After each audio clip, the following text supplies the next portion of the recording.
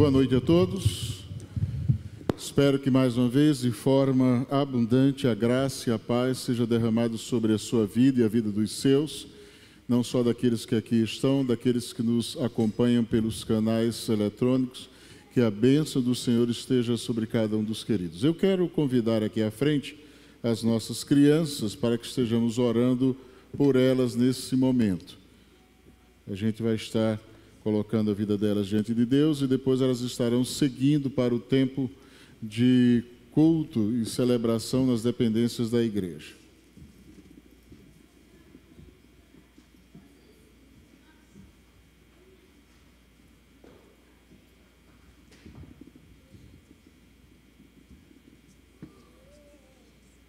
A camisa aqui não é boa, tem que mudar. Tá legal não.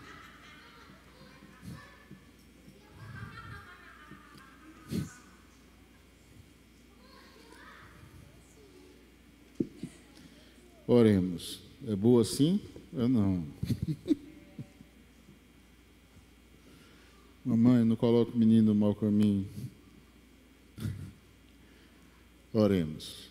Deus amado, Deus bendito, gratos te somos pela oportunidade de estarmos na tua casa nesta noite como família de Deus.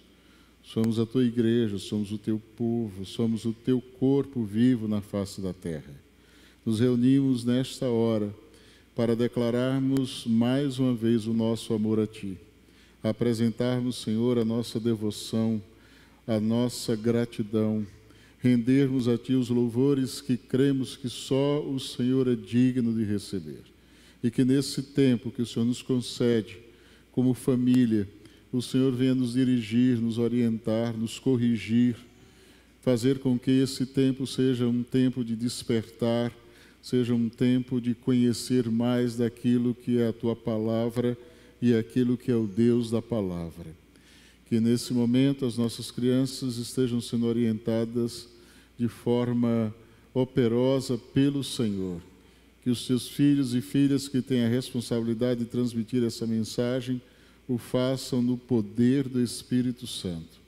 Que eles tenham do Senhor a graça necessária para com fidelidade e integridade transmitirem a tua palavra. Deus continua conosco, dirige-nos, Senhor, como teu povo neste lugar, para que no conhecer, no refletir, no buscar saber o que tu queres, haja do Senhor o despertamento, para não apenas conhecermos a tua vontade, mas para vivermos aquilo que o Senhor deseja. No nome de Jesus, Pai, nós oramos. Amém.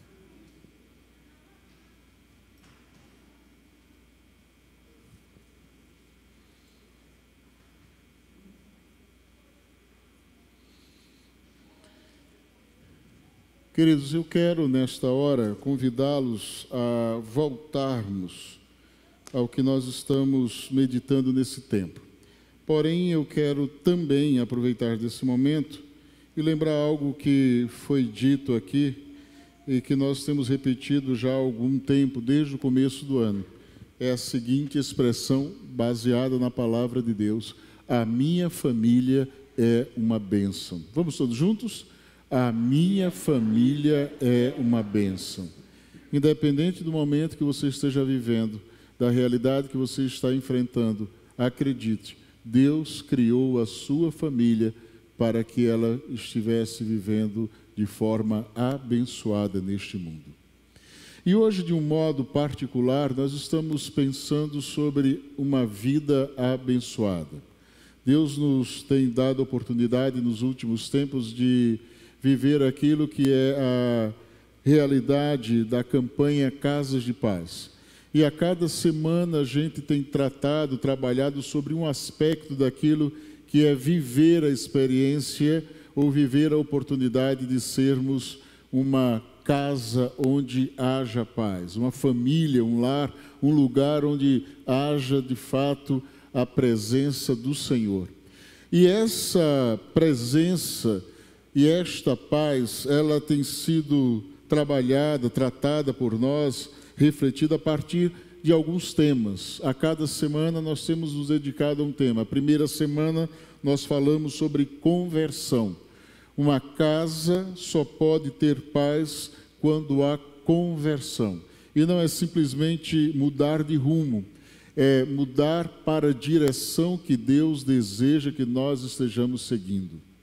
A segunda parte, ou a segunda semana, nós falamos sobre livramento. Deus é um Deus que nos livra daquilo que não condiz ou que não está dentro do seu propósito, dentro da sua vontade para a vida da nossa família e da nossa casa. Quantos de nós não passamos já por alguma experiência onde podemos afirmar que Deus nos livrou de uma situação que fosse trágica, que uma situação que fosse capaz de trazer dor, angústia, medo, sofrimento a cada um de nós. Na terceira semana, nós falamos sobre a obediência, aquilo que Deus deseja que estejamos vivendo e fazendo, aquilo que é o nosso, o que é o desejo do Senhor para a vida de cada um de nós. A quarta semana falamos de restauração. E é bom pensar nisso a partir da visão de Deus, que não é apenas tornar o que era antes, mas é fazer com que esta restauração seja ainda melhor do que havia antes. Deus sempre fará melhor. Quinta semana, a última semana que nós falamos sobre gratidão. Aqueles que vivem a paz de Deus vivem a gratidão ao Senhor, são gratos.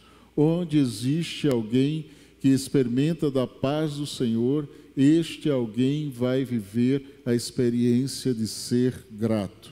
E hoje nós estaremos falando sobre uma vida abençoada, ou melhor, continuaremos a falar. Falamos de manhã, estaremos falando também neste momento. Se você tem Bíblia e a trouxe, eu quero te convidar a abrir a sua Bíblia, ou acessar a sua Bíblia, no capítulo de número 6 do livro de 2 Samuel, versos de 1 a 12. Segundo Samuel, versos de 1 a 12, capítulo 6. Se você não tem Bíblia ou não pode acessá-la neste momento, não há problema, basta que você acompanhe aquilo que é a projeção do texto ah, aí nas televisões ou então através da sua tela no celular ou na sua televisão aí em casa. Você pode acompanhar também a leitura fala-nos o seguinte: a palavra de Deus. De novo, Davi reuniu os melhores guerreiros de Israel, 30 mil ao todo.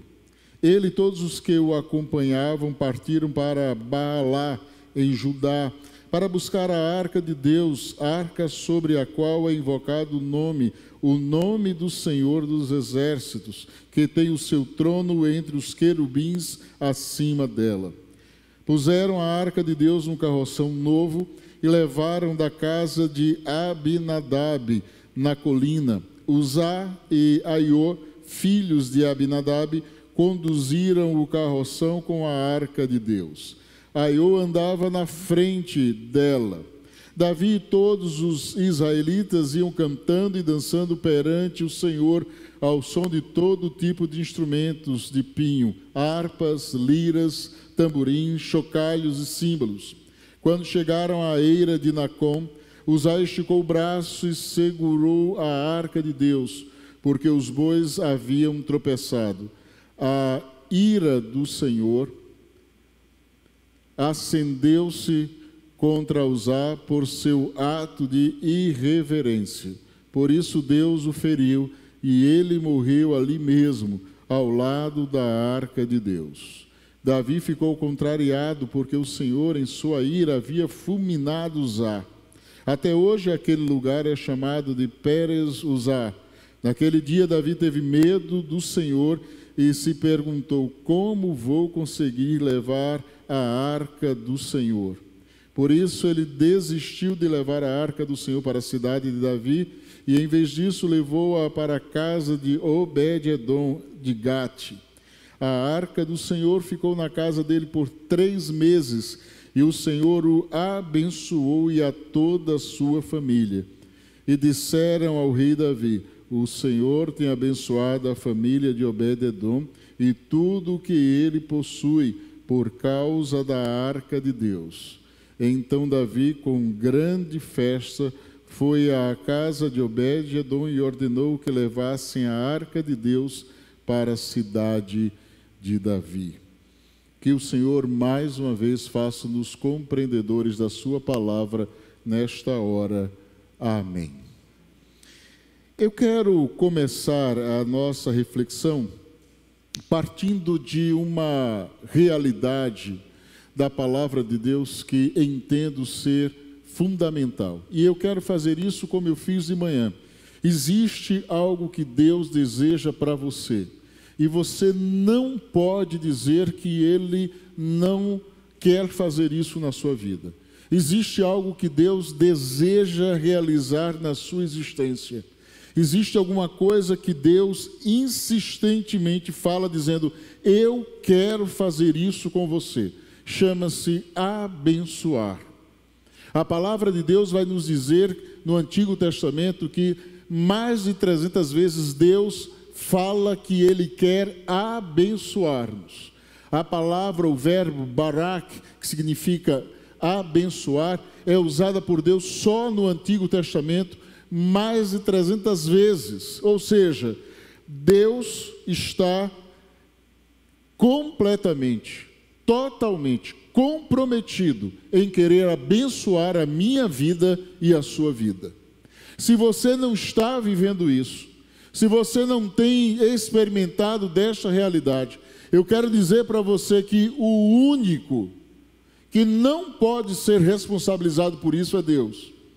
Porque se existe algo que Ele quer fazer, é que você possa viver as ricas bênçãos dele para a sua vida e para a vida da sua família.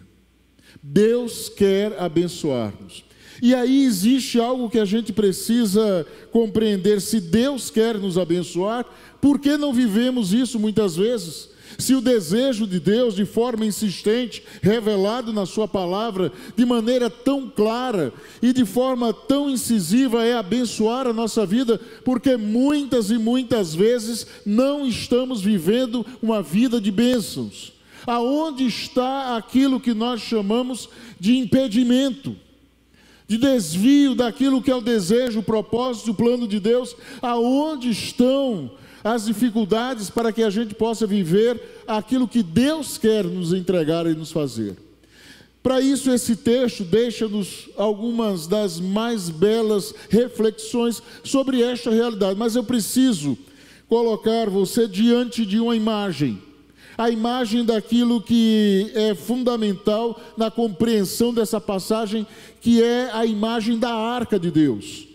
A arca de Deus é o símbolo da presença de Deus no meio do seu povo até o período daquilo que é chamado exílio babilônico. Até este momento, a arca do Senhor simbolizava a presença de Deus naquele lugar. E a arca era um móvel. Era um móvel feito de madeira de acácia, revestida de ouro por dentro e por fora Dentro dela foram colocados alguns dos símbolos que demonstravam aquilo que seria a pessoa de Jesus. Havia ali as tábuas da lei, que falava sobre o Deus juiz. Havia ali um vaso de ouro que continha o maná que foi derramado no deserto durante 40 anos, e aquilo que simbolizava o Deus cuidador, e havia ainda a vara que simbolizava aquele que era o Deus pastor que conduziria o seu povo. E a vara de Arão também estava dentro desse lugar. Em cima desta arca havia os querubins. E aqui o autor vai dizer que o Senhor dos Exércitos está sentado sobre ela. Era como se Deus estivesse em cima da arca no seu trono entre os querubins, uma demonstração ou uma representação de que Deus estava sentado naquele lugar. É como se aquilo que existisse no céu fosse representado ali. E acima dessa arca havia um lugar chamado de propiciatório. O propiciatório era o lugar onde o sumo sacerdote, uma única vez ao ano, entrava no lugar chamado de Santo dos Santos, e ele entrava e era necessário que ele assim o fizesse com sangue, e que simbolizava aquilo, o pagamento ou aquilo que era a propiciação ou aquilo que seria o perdão ou pagamento pelos pecados da nação, que se fazia uma vez ao ano, quando o sacerdote, o sumo sacerdote, entrava naquele lugar, conhecido como lugar mais secreto, mais sagrado do tabernáculo e do templo, e ali oferecia esse sangue como uma forma de demonstrar que o sangue daquele cordeiro sem mácula, que ele foi imolado, estava pagando os pecados daquele povo para aquele ano. E a arca simplesmente deixou de existir, ela sumiu, graças a Deus. Porque se tem gente indo ainda a Jerusalém, querendo adorar o santo sudário, que ninguém sabe se é santo ou se é sudário, imagine se existisse a arca o que teria de gente indo para qualquer lugar da face da terra, peregrinando para tocar nela. Mas nós não precisamos da arca da aliança, porque nós estamos vivendo a nova aliança em Cristo Jesus. Nós não precisamos mais de uma representação de Deus, porque Deus nos foi dado e Ele está conosco para todo sempre. Nós temos Jesus, Ele é o nosso Emanuel, Ele está conosco, estará conosco por toda a eternidade. Por isso é fundamental que a gente entenda que aquilo que ela representava, a arca representava, ela era apenas uma representação aquilo que seria uma demonstração do que viria, e veio. O nome dele é Jesus Cristo, ele veio, e quando ele veio, ele pagou o preço. O véu do santuário rasgou de cima a baixo. Por quê? Porque não havia mais separação entre Deus e os homens. Porque Jesus Cristo, ele destruiu essa separação nos dando a oportunidade de chegarmos à Sua presença, diante dEle, e oferecermos a Ele o nosso louvor, a nossa adoração, o nosso arrependimento, os nossos pecados, e recebermos dEle o perdão para todos sempre, porque o preço foi pago na cruz do Calvário. Houve propiciação, pagamento pelos nossos pecados de forma definitiva. Diz Hebreus: não se precisa mais sacrificar um cordeiro todo ano, não se precisa mais entrar nos Santos dos Santos todos os anos, porque é de uma vez por todas, com um único sacrifício, Jesus Cristo pagou o pecado de toda a raça humana. Foi isso que ele fez por nós. Não há mais escrito de dívida ou seja, se você não vive uma vida abençoada, depois de tamanho sacrifício, isso não pode ser jamais tributado a Jesus Cristo. Porque Ele pagou para que você vivesse o melhor de Deus na face da terra e por toda a eternidade com Ele. Ele pagou o preço. Eu gosto muito de uma das, não sei se história ou histórias contadas sobre Martim Lutero.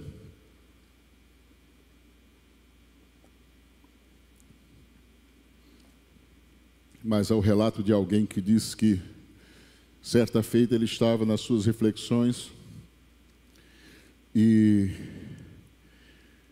e ele foi um homem que trabalhou arduamente para a tradução, as primeiras traduções da Bíblia para a língua do povo, para a língua, para o alemão. Ele traduziu diretamente do, do hebraico e do grego.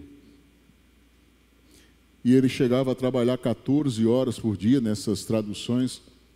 E diz um dos seus, ah, daqueles que escreveram né, sobre biógrafos, daqueles que escreveram sobre a vida a vida de Martinho Lutero, tem um momento que ele estava nessas reflexões e disse que o inimigo, Satanás, apareceu a ele e começou a acusá-lo daquilo que eram seus pecados. E dizia Lutero a ele, então pode falar. E disse que ele falava e ele demonstrava. Ele disse, mostre aqui. Ele disse ele como desenrolar de rolos com os pecados, com os atos, com as fragilidades da vida de Lutero, da sua carnalidade, dos seus erros. E ele foi mostrando, mostrando, mostrando. E Lutero dizia: tem mais. Ele disse: tem mais. E ele foi mostrando cada vez mais. E depois de fazer isso, muitas vezes ele perguntava: ainda tem mais pecados? Pode mostrar. E disse que ao final de tudo ele pegou uma caneta, tinteiro, colocou na no tinta vermelha e escreveu sobre tudo aquilo que ali estava: O sangue de Jesus Cristo me purifica de todo pecado. Foi pago, irmão.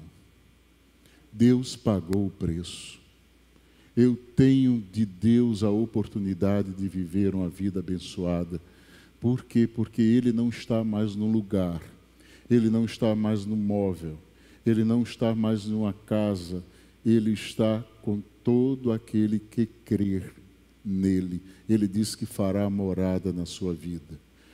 Quero repetir algo que já falei algumas vezes, é um pensamento de um escritor chamado ah, Max Lucado, Lucado, como a gente o chama, e o Max ele escreve algo muito interessante. Ele diz: se Deus tivesse um espelho, ele teria uma foto sua. Se Deus tivesse uma geladeira, ele colocaria o seu retrato na geladeira. Se Deus tivesse carteira, ele colocaria uma foto sua na carteira. Isso significa dizer que ele poderia morar em qualquer lugar da face da terra, mas ele decidiu morar no seu coração. O sentido disso é: Deus é loucamente apaixonado por você. Ele lhe ama e é comprovadamente amor. E aí eu queria olhar para esse texto, para duas situações apenas. Já fizemos isso hoje pela manhã olhando para aquilo que é a bênção como uma escolha de decisão e a bênção como a necessidade de levarmos a sério as coisas de Deus. Mas hoje eu quero, à noite, eu quero olhar para duas outras situações. Primeira delas, nós não podemos perder a oportunidade de mudar a história de nossas vidas e de nossas famílias. Não é preciso ninguém dizer isso a você, mas nós não temos prazo de validade. A vida não tem garantias. Dizem aqueles que querem zombar dos nossos queridos vizinhos paraguaios, que quando chega um produto de lá, eles afirmam la garantia sou eu. É, nós nem isso temos nem garantia paraguaia a gente tem. Você pode estar aqui hoje, pode não estar a qualquer outro momento. Agora à tarde eu recebi um zap de uma irmã, a irmã Elzi, falando que os seus dois netos, por muito pouco, não morriam afogados hoje à tarde, lá na praia de Copacabana. Mas o seu genro, que foi até lá resgatar os dois filhos, desmaiou por causa do esforço, engoliu água e está internado no UTI. Um jovem forte, novo, está em uma UTI com risco de morte. Alguém vai à praia num domingo à tarde, achando que pode sair dali e ir para o hospital? Você crê nisso, que alguém vai à praia achando que alguém pode morrer afogado? Não há garantia para a vida. Não há como garantir a nossa existência. Eu tive até pouco tempo um primo mais novo que eu. Ele estava passeando com a esposa no calçadão lá na praia de Ipanema e ele teve um ataque fulminante do coração com 50 anos de idade. Não tinha nenhuma doença anterior, não tinha nenhum problema relatado, ele simplesmente caiu no chão, foi levado até o hospital na urgência e lá chegando já chegou sem vida. E aí a gente precisa entender que não podemos perder a oportunidade.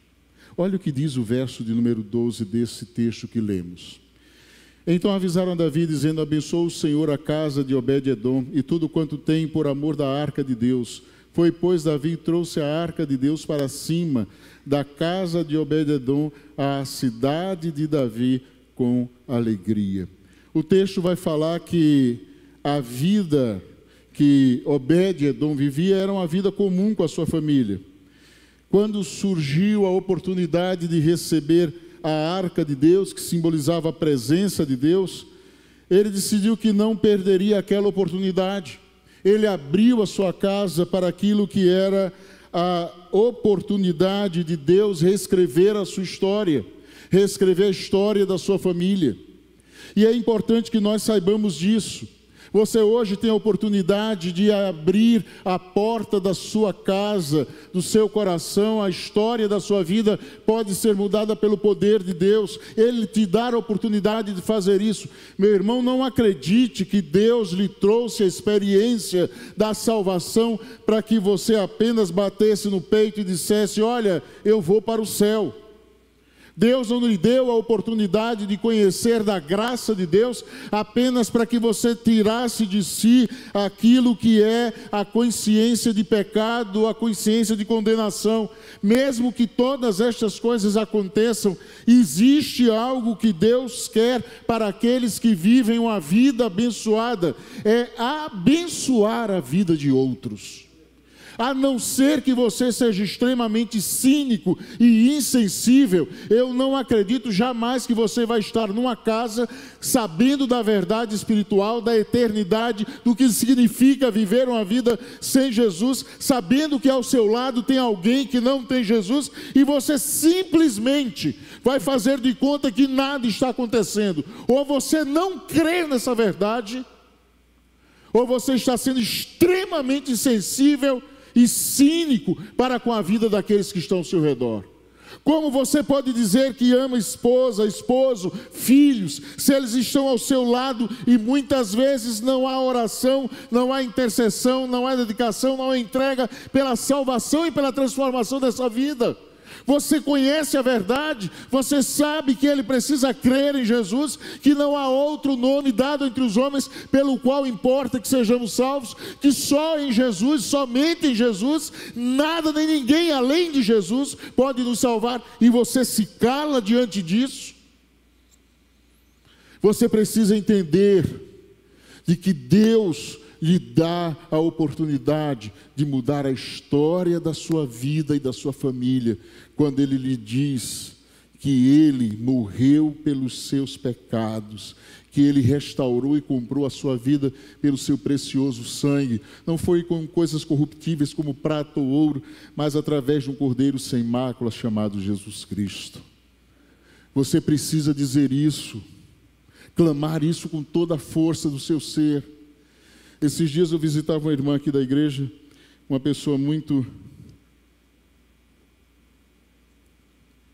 especial, e ela tem um filho que cresceu na igreja, viveu a vida toda dentro do Evangelho, mas hoje se tornou um, um jovem muito próspero, tá, terminou seu doutorado em História, mas ele meio que abraçou uma ideia agnóstica de vida. E ele é casado com a senhora e essa irmã da igreja, toda oportunidade que tem, fala do evangelho para essa senhora. E aí ele chegou para ela e disse: Mamãe, eu não quero que a senhora fique evangelizando, tentando converter a minha esposa. Ah, tá certo, meu filho. Aí ela disse: Agora eu mudei toda vez que ela chega aqui, diz: Eu tenho uma bênção para contar para você. Olha o que Deus está fazendo. Olha que coisa maravilhosa. Aí ela pega algum vídeo, alguma coisa que ela assistiu, veja que coisa linda. E aí o filho diz: Mamãe, eu já disse para a senhora: Não, não, não sou eu que estou pregando. Eu estou mostrando o vídeo. Não sou eu que estou falando. Aí ela disse: Mamãe, eu pedi para a senhora não falar, mas você quer que eu deixe de agradecer a Deus as bênçãos? Eu tenho que falar. Eu tenho que compartilhar o que Deus faz na minha vida. Eu não posso dizer às pessoas que eu sou grata por aquilo que Deus. Que é isso, filho? E aí ela disse, a última vez que teve uma, uma reunião em família de festa, ela disse: Eu vou pedir a você que já orou, que ainda não orou, que essa senhora que não é cristã, eu queria que você orasse. A gente sempre agradece, todo mundo já orou aqui na mesa e só falta você, então você vai agradecer. E aquela mulher orou e o filho ficou irritado com aquela história. Mas ela chegou para ele: Você vê como ela ora bonito? Olha, já está quase lá. Deus está fazendo a obra. Você tem a oportunidade, meu irmão, de mudar a história eterna da vida de alguém. Tem alguém ao seu lado que mais do que aquilo que você está vendo, tem uma realidade espiritual, que é mais importante do que a realidade material. Você quer ver uma coisa? Nós estamos num tempo de muitas guerras. Só de grandes conflitos existem hoje mais de 100 no mundo. Mas entre esses, dentre estes, existe aquele que está acontecendo lá ah, na faixa de Gaza com Israel. Vocês já pararam para se perguntar? Preste atenção. Naquele pedaço de terra que tem lá, não tem ouro, não tem pedras preciosas, não tem petróleo, não, não tem água. Sabe o que é água? Aquele negócio que a gente joga fora aqui à vontade? Não tem água lá. E por que está todo mundo morrendo por isso? Tudo que se planta lá morre seco, porque é um deserto. Por que alguém brigaria por isso? Aonde está o motivo dessa guerra? Qual é a questão? É uma questão espiritual. Vai além daquilo que é a realidade visível. Engana-se quem acha que alguém está querendo apenas um pedaço de terra seco, sem vida e sem nada existem elementos espirituais por trás daquilo. Do mesmo modo, quando você olha para alguém, quando você olha para a vida de outra pessoa, você precisa entender que além daquilo que ali está, além daquele que ali está diante dos seus olhos, existe uma realidade espiritual e que precisa ser pleiteada. Olha, eu lembro que uma certa feita eu aprendi algo com um pastor muito conhecido, ele tem uma netinha assim como eu, linda, maravilhosa. E aí, quando a gente olha para a netinha novinha, assim, fofura, com os olhinhos verdes, brilhando, com aqueles cabelinhos todo encaracolado assim, aí a gente esquece do mundo, né? Acha que ali é só, só olhos lindos, cabeleira loira, cachinhos bonitos. Ali existe uma vida, uma alma, e ele disse: Eu comecei a orar pela vida da minha neta. Era tudo lindo demais, mas eu não podia deixar de orar por ela, porque eu sabia que a vida dela neste mundo corre risco. Eu oro pela vida dos meus filhos antes deles virem ao mundo. Eu não sabia ainda o que seriam, mas eu sabia que Deus sabia e por isso estava diante de Deus em oração. Eu orei pela vida da minha neta antes dela vir ao mundo. Eu tenho clamado pela vida dela todos os dias. Tenho clamado pela vida dos meus filhos todos os dias. Porque além de tudo aquilo que é a alegria da vida em família, do prazer que é viver a família, de viver experiência de família, existe uma realidade espiritual que precisa ser encarada de forma espiritual. Nós não podemos olhar simplesmente e dizer: ah, está tudo bem, ah, o meu filho é bem formado, ah, meu filho está fazendo uma excelente universidade. Esses dias eu falava com meu filho sobre as coisas que ele tem comprado e tal, ele vai falando. E durante muito tempo ele dizia que tinha feito isso, tinha feito aquilo, e ele sempre teve muito respeito e consideração pelas coisas de Deus e pela vida do pai dele. Ele ligava para mim e dizia: Ah, pai, eu comprei um carro, ora agradecendo. Eu orava com ele. Pai, eu estou participando de um campeonato, ora por mim, aí eu orava com ele. Mas na minha oração eu sempre dizia a Deus: salva a vida do meu filho. Mais do que um campeão, mais do que alguém que está conquistando recursos, ou os sonhos e os desejos humanos, eu quero para ele salvação. Eu quero que ele esteja comigo na glória eternamente. É isso que eu espero. Meus queridos, eu e você não podemos perder oportunidades. Talvez você esteja com a sua casa hoje, tendo a oportunidade de ouvir da mensagem do Evangelho, ou falando a alguém da mensagem do Evangelho.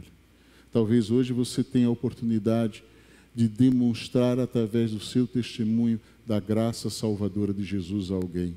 Não perca a oportunidade de abençoar essa vida. Terceiro, segundo lugar, temos que decidir entre perder ou seguir na presença de Deus. Sabe que essa história ela não acaba aqui, porque o texto diz que depois que a arca foi tirada da casa de Obed-edom, seguindo os princípios bíblicos, que era ser carregada pelos sacerdotes com umas varas de ouro que eram colocadas nos ombros até a cidade de Davi, até o templo que ele havia construído. A Bíblia vai dizer que Obed-edom, ele ficou tão impactado pela presença de Deus na sua casa, que ele continuou a seguir a arca e foi viver no templo ou viver no tabernáculo que havia sido construído por Davi, para não se distanciar da presença de Deus. Olha o que diz a palavra do Senhor, lá em Crônicas, no capítulo 15, 1 Crônicas 15, versos 15 em diante até o verso de número 18, nós encontramos o seguinte: os levitas carregaram a arca de Deus, apoiando as varas da arca sobre os ombros, conforme Moisés tinha ordenado, de acordo com a palavra do Senhor. Por que Uzá morreu? Porque ele decidiu fazer as coisas do seu modo. Porque chegou morte aquela primeira tentativa de Davi? Porque Davi decidiu fazer as coisas à sua maneira. Todas as vezes que você tentar seguir a vida à sua maneira, tome cuidado. A Bíblia diz que o final dessa realidade é um final de destruição. Todas as vezes que a gente tenta tirar a vontade de Deus, a palavra de Deus da nossa vida, o final é trágico. Continua dizendo então o Senhor. Davi também ordenou aos líderes e levitas que encarregassem os músicos que havia entre eles de cantar músicas alegres, acompanhados por instrumentos musicais, liras, harpas e símbolos sonoros. Assim que os levitas escolheram Emá, filho de Joel, e Asaf, filho de Berequias, um dos parentes dele, dentre os meratitas, parentes deles, escolheram Etam, filho de Cuxaías, com eles os seus parentes que estavam no segundo escalão, Zacarias, Jaaziel, Semiramote, Jeiel, Uni, Eliabe, Benaia, Maacéias, Matitias, Elifelel, Miquneias, Obed-edom, e Jeiel, os porteiros. Ele não quis ficar longe da presença de Deus. A arca saiu da sua casa, mas Obed-edom não saiu da presença do Senhor. É bom que você entenda que o desejo de Deus não é abençoar-nos por alguns momentos, não é trazer a sua bênção em um determinado instante apenas, ele quer fazer a sua vida uma vida abençoada. Deus ele não se contenta em dar três meses de bênção a alguém, porque por mais bênçãos que você e eu tenhamos recebido, diante de Deus elas não passam de gotas, e o que Deus deseja para nós, como diz a poesia do hino, são chuvas de bênçãos. Esse é o desejo de Deus para nós. Observe o que diz, por exemplo, um texto lá de Oséias, capítulo 6, versos de 1 a 3. Oséias 6, versos de 1 a 3. Venham, voltemos para o Senhor, Ele nos despedaçou, mas nos trará cura, Ele nos feriu, mas nos enfaixará as nossas feridas. Depois de dois dias, Ele nos dará vida novamente. Ao terceiro dia, Ele nos restaurará. Estava falando da ressurreição de Jesus, para que vivamos na Sua presença, conheçamos o Senhor esforcemos-nos por conhecê-lo, tão certo como nasce o sol, ele aparecerá, virá a nós como as chuvas do inverno, como as chuvas da primavera que regam a terra. Deus haverá de abençoar quando o seu povo buscar conhecê-lo e esforçar-se por permanecer conhecendo cada vez mais. Deus não quer que você viva na superfície, Deus não quer uma mudança superficial. Sabe o que é que muda de forma superficial? Sabe o que é que é mudança rápida? Sabe como funciona? Chama-se maquiagem. Maquiagem é o que muda as coisas rapidamente. Mudança e transformação profunda requer tempo. requer dedicação, requer entrega, renúncia.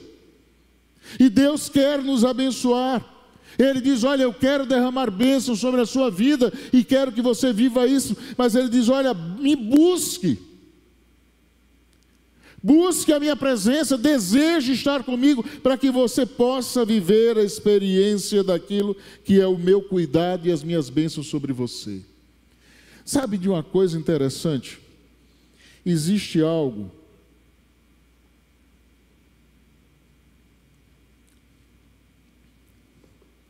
que, ao meu ver, é insubstituível, que é a certeza de que Deus está dirigindo a nossa vida. É algo tremendo e maravilhoso. Eu não sei se vocês conhecem uma vozinha que, que fala no seu coração, que ninguém entende, não sabe porquê, mas brota no seu coração de vez em quando.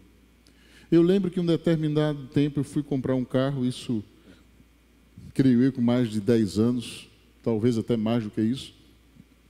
Fomos eu e a Patrícia comprar o carro. E quando a gente chegou à loja, o homem que já havia comprado duas outras vezes carro com ele, eu voltei lá para comprar o carro. Quando cheguei lá, ele começou a mostrar e ele queria, porque queria me vender um carro. Eu disse, pastor, esse carro está não é um seminovo, esse carro é novo, tem menos de 5 mil quilômetros rodados.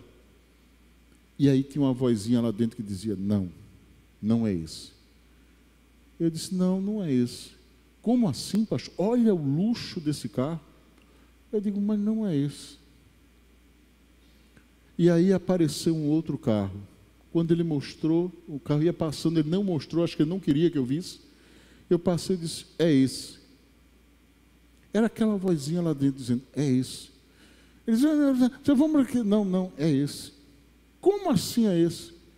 Por que, que é esse? Eu não sei por quê, mas é esse. Mas por que, que eh, tem. Olha, esse. Não, não quero saber, não quero ver mais nada. É esse. E aí ele ficou irritado. O senhor vai perder uma oportunidade dessa? Eu dizia para ele: Eu não vou conseguir explicar a você. Mas tem que ser isso. E eu comprei aquele carro. E quando estávamos eu e a Patrícia, quando ela viu, ela disse: É esse o carro. Ela estava, tinha ido beber água ou alguma coisa assim. Quando ela voltou, ela disse: É esse o carro. Eu digo: Confirmado, é ele. Se eu tenho certeza disso, absoluta, é esse aqui. Mas por quê? Não sei. Tem um negócio aqui dentro dizendo que é ele. Se eu tenho certeza absoluta. Eu tenho muitas outras. Não, você não está entendendo. É esse. E aí ele foi contrariado. Eu disse, mais barato isso aqui. Eu digo, eu sei, não tem problema, mas eu quero aquele mesmo. E ele foi reclamando, fez lá a ficha, recebeu lá o negócio, fez o financiamento e ele insistindo comigo: você não pode perder uma oportunidade dessa.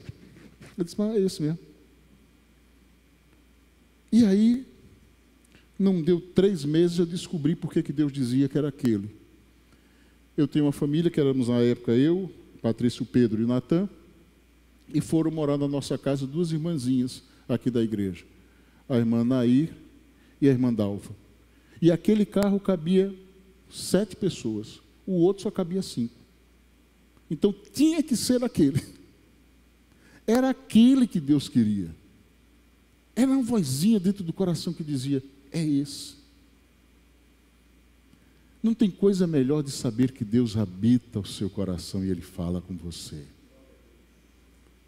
Sabe, eu tenho um momento da vida, da, da minha vida, os meus filhos sempre foram motivo de muita alegria, mas também de muito trabalho. Graças a Deus foram normais, não teve nenhum especial no sentido de ser. Tem gente que diz: meu filho é tão calmo, meu não, foram tudo agitado, puxaram o pai. E aí, estou fazendo propaganda negativa do Pedro, ó Pedro, estou atrapalhando seu futuro. e aí, não ri não.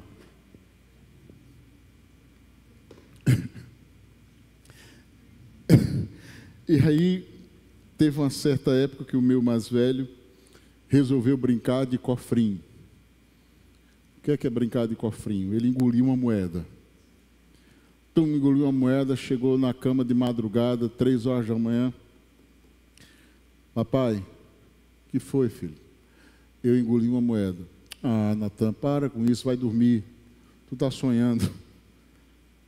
E era um domingo para a segunda, domingo para a segunda, para pastor, um negócio complicado, é um peso só. Vai dormir, filho, pela favor, não me atrapalha. Só que a mãe ouviu.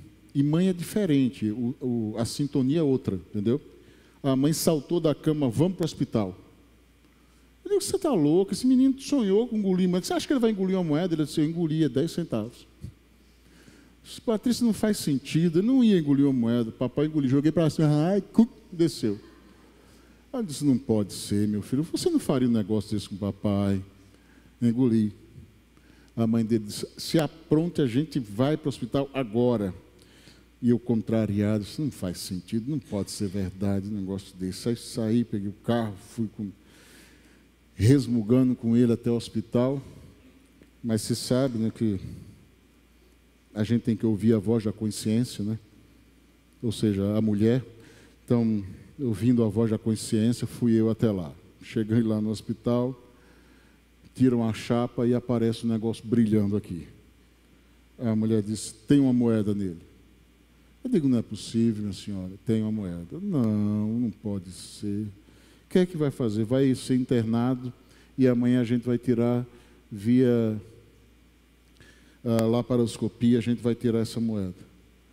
Mas tem que ser num centro cirúrgico, tem que ser ele tem que estar anestesiado, anestesia geral. Eu digo, meu Deus, eu não acredito nisso.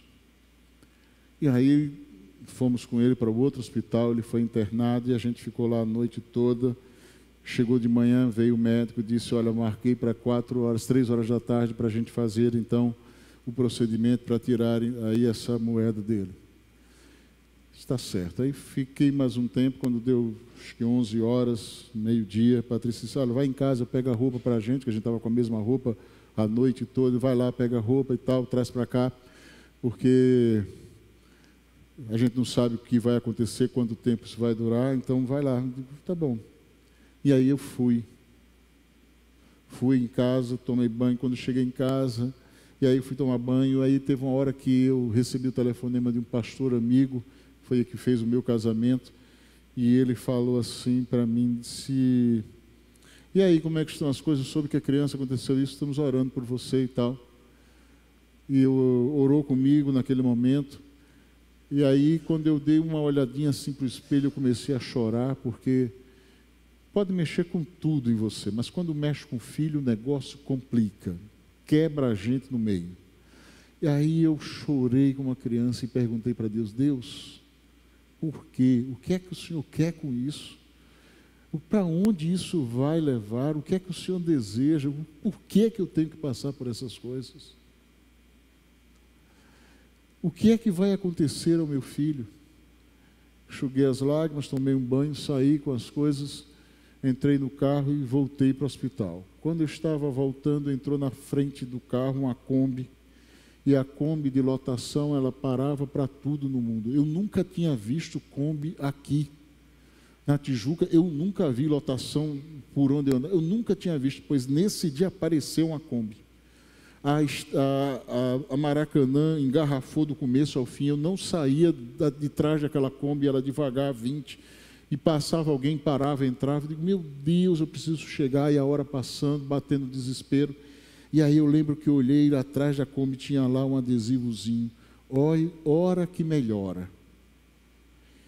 E aí eu fiquei bravo com Deus. Digo, Senhor, agora não. Piada de mau gosto numa hora dessa não está dando, não. O Senhor tem que dizer outra coisa para mim, porque essa eu não quero ouvir. Porque desde ontem o que eu faço é só orar. E aí tinha lá dentro um, um texto bíblico que eu decorei quando eu era criança, lá João 15, 16, quando diz: Não fostes vós que escolhestes a mim, mas eu escolhi a vós. E vos designei para que vades e deis fruto, e o vosso fruto permaneça, a fim de que tudo quanto pedirdes ao Pai em meu nome, ele vos conceda. Naquele momento eu ouvi aquela vozinha de Deus dizendo para mim: Eu já ouvi a sua oração e já concedi o seu pedido. Ou seja, Deus estava comigo. Você não precisa ir a Jerusalém para ver a arca. Você não precisa ir a Meca para ver os restos mortais de Maomé. Você não precisa ir a Paris para ver os restos mortais daqueles que lideraram o Espiritismo, como Allan Kardec. Você não precisa ir à Índia para ver os restos mortais de Buda.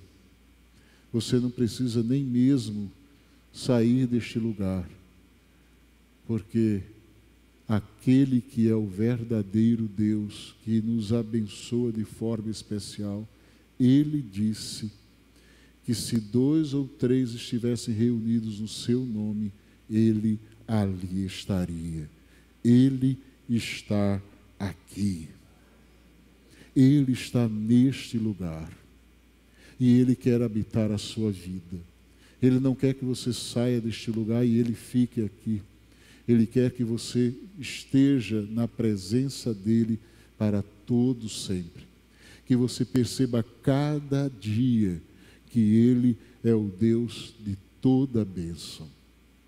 Que todo dom perfeito, que toda boa dádiva provém dele. É isso que ele quer que você saiba hoje. Por isso, querido, eu queria que você, antes de sair desse lugar, pudesse entender algo especialíssimo, precioso. Deus não lhe trouxe para este lugar em vão. Deus não trouxe você para que você simplesmente viesse aqui a um lugar religioso. Ele quer que você saia deste lugar com a certeza de que Ele é o Deus que abençoa a sua vida em todos os momentos. Sabe, a cada dia a gente tem a oportunidade de ver isso. A cada domingo, nos últimos dias, Deus tem nos dado a oportunidade de escutar sobre aquilo que ele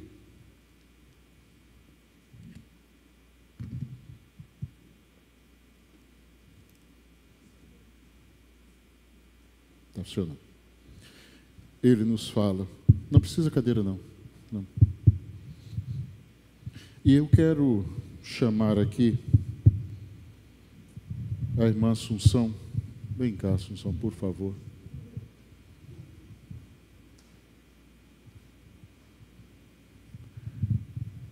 E eu queria que você prestasse atenção como Deus é tremendo. Pode ficar ali, olhar para frente, pode ficar aqui ao lado. Isso. Não separe da, não separe da esposa, não. Não precisa de ficar preocupado, não. Deus vai, vai conduzir. Eu queria, Assunção, que você relatasse aquilo que Deus fez na sua vida nesses últimos tempos. Segura aqui. Eu tô, eu tô fazendo a casa de paz, né? E semana passada eu não consegui fazer porque eu estava no hospital. Eu estava no hospital porque eu a semana retrasada, na, na quinta-feira, eu antes eu estava com muita dor na coluna, então fui no médico, ele passou um remédio para mim. Aí na quinta-feira eu fui para o trabalho e eu estava com duas clientes para atender ao mesmo tempo, eu estava com muita dor na coluna. Aí eu digo, vou logo tomar esse remédio, que eu tinha já passado na farmácia e tinha comprado. Vou logo tomar esse remédio, porque é para passar essa dor na coluna para me poder atender. E quando eu tomei o remédio, eu comecei a atender a cliente, começou uma dor no estômago, no abdômen todo, passando para as costas, uma dor muito forte eu quis disfarçar, eu fiz tudo para disfarçar para o cliente não ver que eu estava com muita dor. E até que eu fiz uma escova nas últimas, quando eu terminei, eu, não deu mais para disfarçar, só larguei assim e chamei assim minha irmã se puder falar. Eu não falava, eu falei, ah. para chamar minha irmã, ela não, eu não, não conseguia sair a, a voz. E minha irmã foi e foi atrás de mim. O que está acontecendo? O que está acontecendo? Eu não podia falar. Eu não podia falar. Ela ficou louca, ligou para o meu marido. Meu marido, ainda bem que dessa vez ele atendeu o telefone, chegou lá muito rápido. ele chegou lá muito rápido. Só que eu não, não vi a hora de chegar no hospital. Era muita dor, muita dor. E lá mesmo no hospital, com, com é, soro na veia e, e remédios para dor, eu não conseguia, a dor não passava. E o médico fez exame de sangue, e depois, lá já para as 5 da tarde, isso era de meio-dia, passei a tarde inteira morrendo de dor lá. Aí eles resolveram fazer uma tomografia computadorizada, né? Aí, ah, ela vai, se precisa internar. Fizeram outro exame de sangue mais profundo, né? Para ter certeza do que eles estavam vendo. Aí ele falou, ela vai ter, falou para o meu marido, para mim também.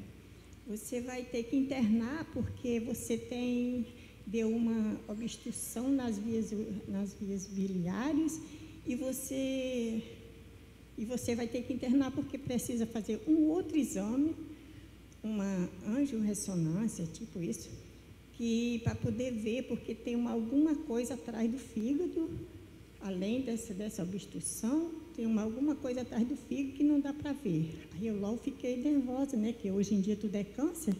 Aí falei, doutor, mas isso é câncer? Ele é. Aí, não, aí disfarçou. Depois que falou é, um é bem forte, ele disfarçou. Eu acho que ele viu minha, como eu fiquei, né? É, mas a gente vai, a gente vai fazer outro exame aí para poder saber direito, não sei o quê. Aí me internaram. Quando foi no dia seguinte, minha filha chegou lá, ela já estava comigo, né? Mas ela tinha saído, ela voltou.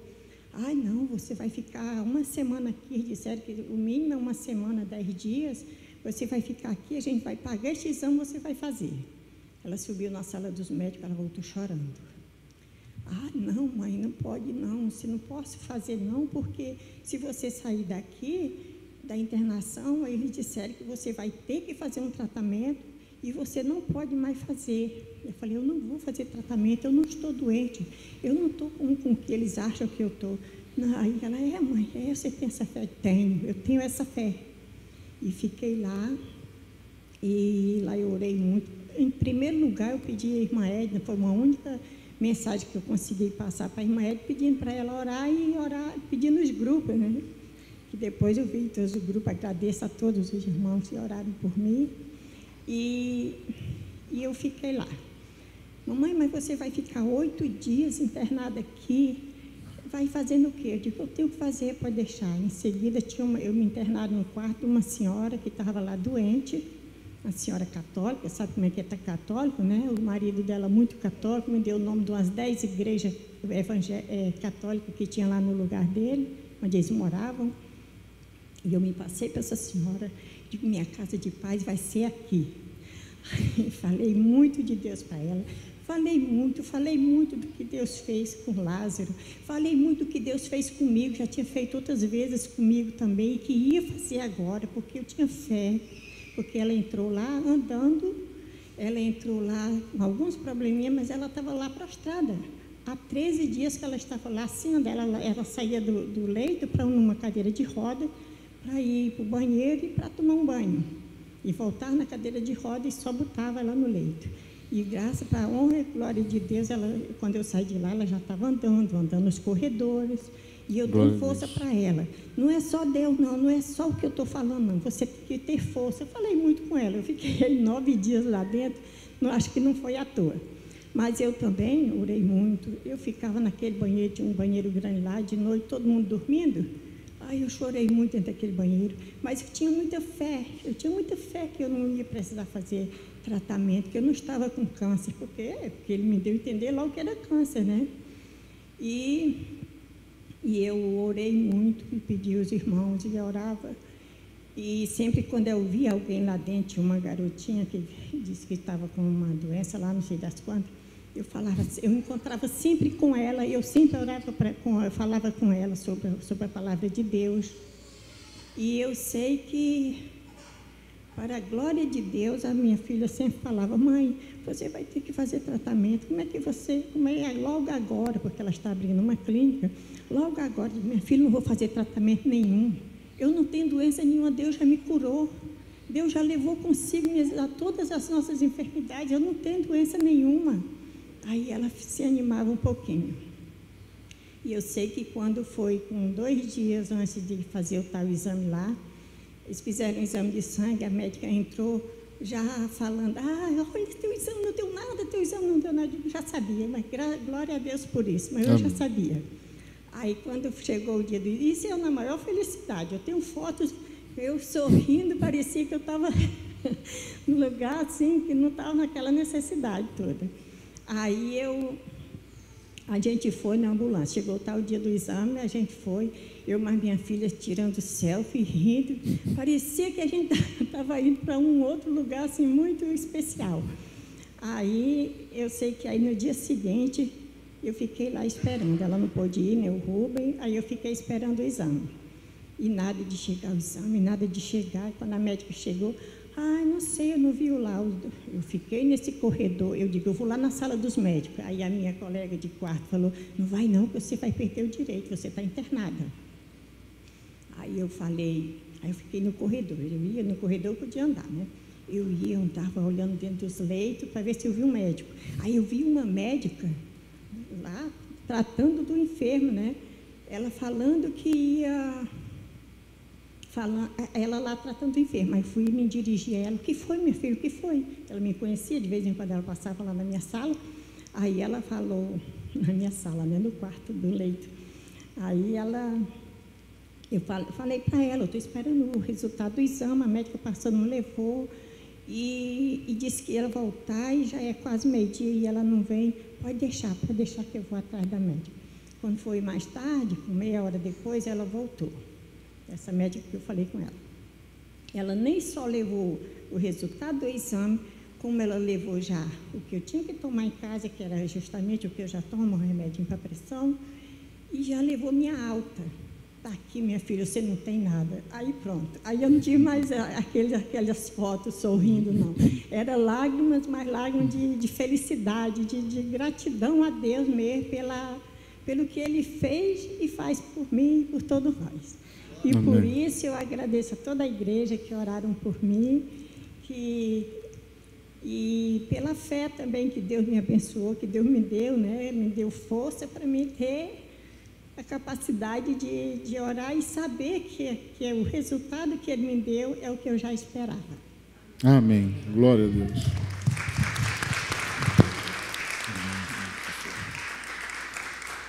Deus abençoe. Queridos, eu quero dar a você a oportunidade de tomar uma decisão e de fazer uma escolha. A gente falou sobre isso hoje. E eu quero que você tenha a possibilidade de orar nesse momento. Eu quero orar com você e por você. Você que quer viver essa vida de bênçãos que Deus prometeu, que Deus tanto falou, que Deus tanto insistiu para que tivéssemos. Se você quer viver essa experiência da bênção de Deus, do cuidado de Deus sobre a sua vida, se você deseja ter certeza de que Deus o levou para o lugar onde você está e colocou neste lugar para que você fosse de fato fonte de bênçãos para a vida de outras pessoas. Assim como ele usou a, a vida da Assunção para que naquele hospital ela pudesse estar levando a paz de Jesus. E se você crê que esta paz é para a sua vida, eu quero te convidar nessa hora a sair do seu lugar e vir aqui à frente. Eu quero orar por você, colocando a sua vida diante de Deus, pedindo sobre a sua vida esta bênção que Deus pode lhe dar. Eu não sei qual é a situação, a área da sua vida que você entende hoje que precisa de uma visitação sobrenatural de Deus para que a bênção dele chegue até você.